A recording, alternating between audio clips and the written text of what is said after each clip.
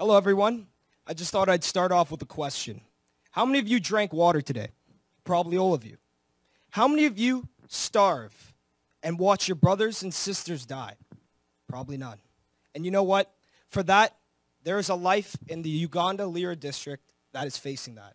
30,000 people die every week, 95% of which are below the age of five.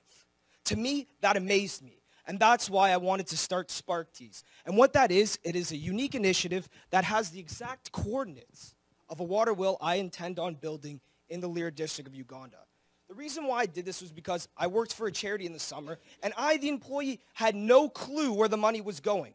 To me, that kind of pissed me off because when you're expecting someone to give you money, you want to know that it's safe, that it's going somewhere unique, special, and where people actually need it. So these are the exact coordinates. I'd scan it for you if I didn't have 60 seconds, but yeah.